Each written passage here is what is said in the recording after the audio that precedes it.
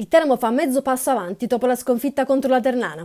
Contro la Virtus Francavilla finisce 1-1 al termine di una gara in cui i biancorossi concedono troppo nel primo tempo e non riescono poi a rimediare abbastanza nella ripresa. Nel Teramo c'è la sorpresa di Francesco dal primo minuto per sostituire idealmente lo squalificato Ilari, con Costa Ferreira che vince invece il suo ballottaggio con Bungo e con Bombagi e Pinzauti che tornano titolari. Nella Virtus Francavilla assenza last minute di Nunzella, con Sparandeo che va a farne le veci come tutta fascia a sinistra. La formazione di casa imita il Teramo ed inizia in maniera aggressiva. Dopo neanche un minuto Castorani riceve per un tiro che è comunque facile preda di Lewandowski. Il portiere polacco fa invece quel che può due minuti più tardi. Di Cosmo si inserisce a difesa del Teramo scoperta, conclude con l'estremo del diavolo che respinge ma che nulla può sulla ribattuta di Castorani che porta avanti la Virtus Francavilla.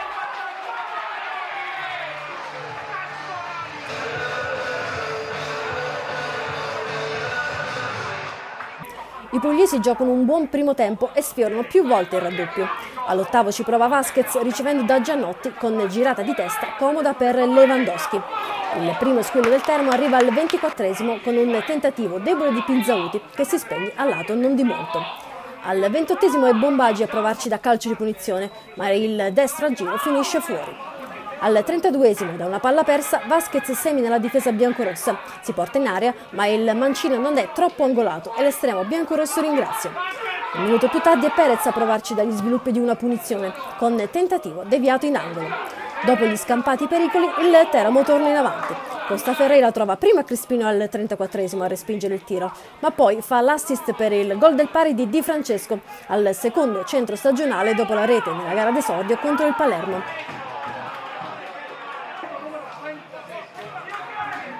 Abbiamo pareggiato con il numero 11, Pinzauti. Torna in campo l'Asic ad inizio ripresa che prende il posto in retroguardia di Piacentini, facendo scalare Diachite a difensore centrale.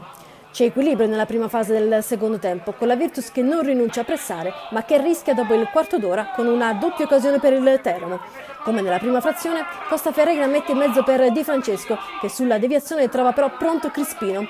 L'estremo fa poi gli straordinari anche sulla successiva ribattuta in porta di Lasic, negando il gol al terzino. Il Termo lamenta anche un presunto tocco di mano in aria, ma il direttore di gara vede invece un fallo assegnando un calcio di punizione per i padroni di casa.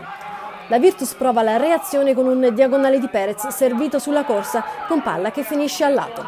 Per il Teramo poco dopo è Arrigoni a provarci da fuori aria con un tiro che trova forse una deviazione provvidenziale in calcio d'angolo.